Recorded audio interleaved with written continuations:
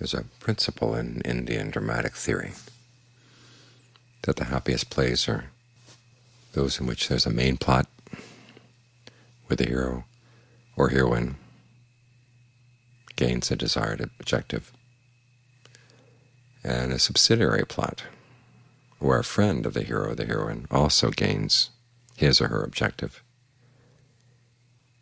and the two of them help each other along. In other words, the main plot doesn't work without the subplot, the subplot doesn't work without the main plot, and both people come out winning at the end. That's the happiest kind of play. And the same principle applies in the relationship between the monastics and the laity. The monastics need time to practice. Need the time, need the support of the laity in order to practice full time. And the laity, in turn, need contact with people who are giving their whole lives to the practice. So they're not just stuck with other lay people who are giving half time to the practice as their teachers.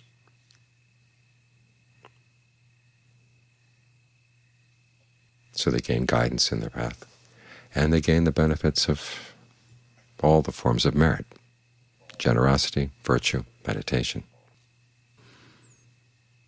It's through this symbiotic relationship that everybody benefits. This becomes especially dramatic on a day like today with the Katin. There's a lot of activity. A lot of people had to be fed.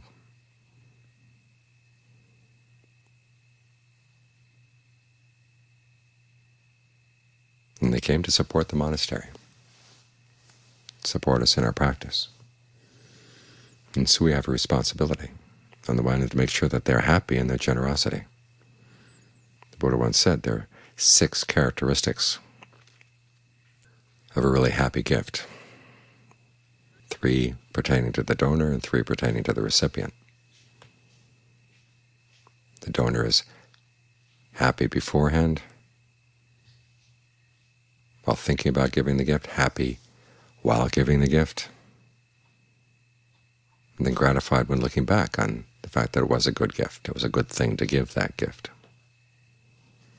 As for the recipient, the recipient either has to be free of greed, aversion, and delusion, or working on the path to be free of greed, aversion, and delusion. And you look at it one way, there's six characteristics, three, the three that apply to the donor are the donor's responsibility, and the three that apply to the recipient are the recipient's responsibility, but they're actually mutual responsibilities. In other words, when you receive a gift, you have to behave in such a way that before giving, the donor feels good, while giving, after giving, the donor feels good and satisfied that it really was worthwhile giving that gift. This means that we don't pressure people into giving beforehand. We receive the gift with respect, and then we use it well after we've received it. At the same time, the donor has to behave in such a way as to look for people who are practicing for the end of greed, aversion, and delusion, and the respect their need for time.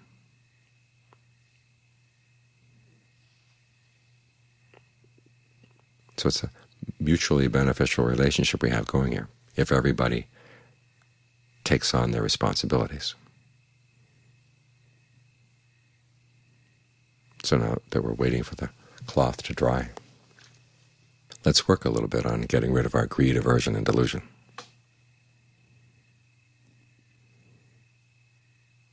Particularly want to work on the delusion,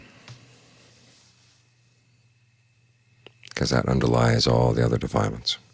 And so we try to develop the quality of knowingness in the mind. It means being very honest with yourself as to what's actually going on and trying to be as alert as possible and developing equanimity so you can really see what's actually happening. In Thai, when they're talking about the the knower or awareness itself. They're basically talking about this quality of equanimity, the part of the mind that just receives things, knows what's happening, basically registers what's happening.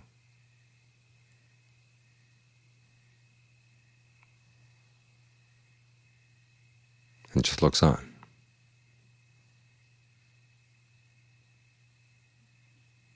Now that quality of just registering is not going to be enough. I mean, it really helps see through a lot of things you didn't see before. But it also has to be motivated by the desire to see through, particularly to see through the things that are causing suffering. So even though it may seem totally without preference, it is motivated by the desire to see things clearly in a way that you haven't seen them before.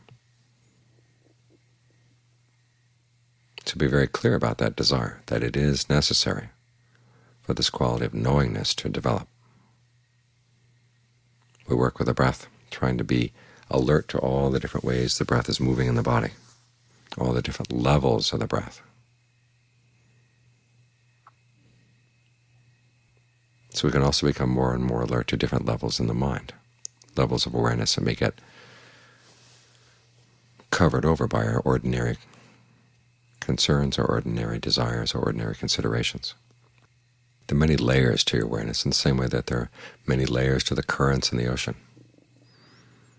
I was reading a little while back that in addition to the currents that move along the surface of the ocean or just below the surface, there are some very deep ones. Apparently there's one current in the Atlantic where the water drops down near Antarctica because it's cold, and then it travels along the bottom, goes up north, and many hundreds of years later that water finally arrives up at the northern part of the Atlantic.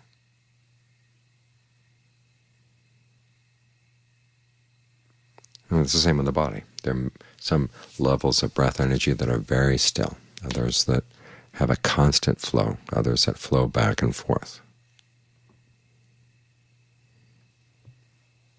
We try to become sensitive to these because the more you can know about the breath, how it's acting in the body, the more you become sensitive to different parts of your own awareness that you didn't know were there before, and particularly this part of the mind that's just watching.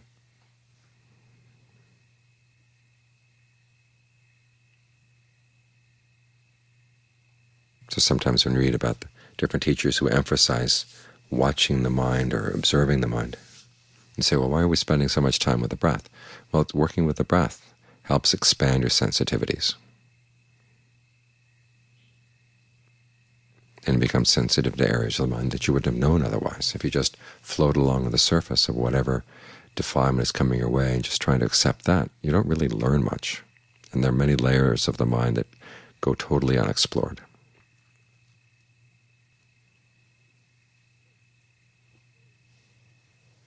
So as you're watching the breath, try to get things as still as possible so you can see the more subtle layers. Ajaan Lee talks about breath energy circling around in place or constantly moving in one direction. Say there's an energy that comes up from the soles of the feet that goes up the legs, up the back, up through the spine. It's always going up. And notice when you need that, when your back is feeling weak, when your posture is bad. Remind yourself there is this level of energy coming up, coming up, coming up that can give you strength.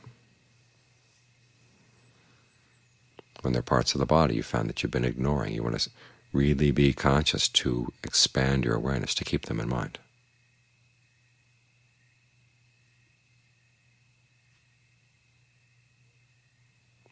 Because you find that you become more and more aware not only of the breath, but also those areas of your awareness.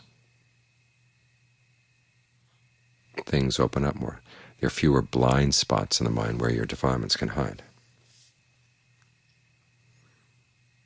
So these are some of the ways in which working with the breath helps us to overcome delusion. We see the process of fabrication, we try to calm it, so that the blatant levels of fabrication can get out of the way and we can see the more subtle levels and just keep on going in, in, in like this. That way we get to the more subtle levels of your awareness.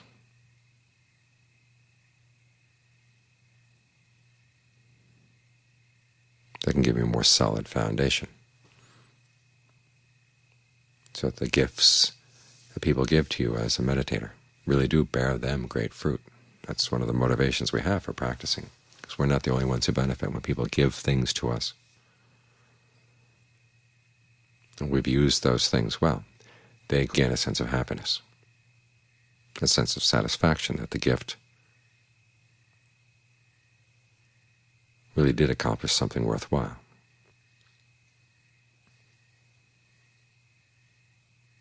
So we can think of this as a responsibility when we're thinking, when we're feeling lazy. If we're feeling too weighed down by responsibilities, just remind yourself this is how true happiness comes about. This is one of the fine things of the Buddhist teaching, is that by developing our own best interests, or pursuing our own best interests, we're also acting in the interest of other people. There are very few courses of action in the world for which that is true.